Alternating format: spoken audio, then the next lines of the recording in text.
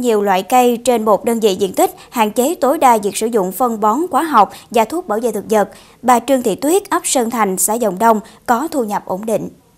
Những năm trước đây, trên diện tích hơn 8 công đất của gia đình bà Trương Thị Tuyết chỉ trồng lúa nhưng không hiệu quả. Sau khi được Hội Nông dân xã, huyện tuyên truyền về chuyển đổi cây trồng và qua tìm tòi nghiên cứu, học hỏi kinh nghiệm, bà Tuyết đã mạnh dạn áp dụng mô hình sen canh, thu nhập được nâng lên đáng kể.